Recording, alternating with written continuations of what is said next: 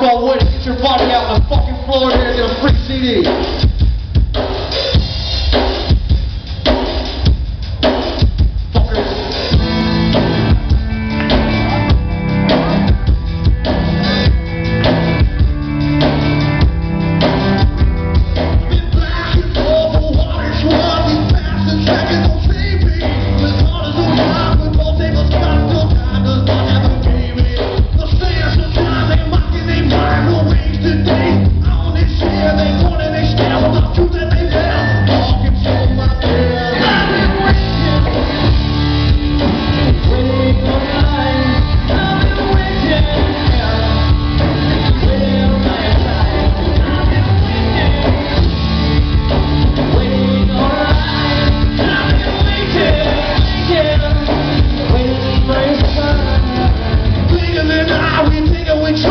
Hell, but I would not hold your breath.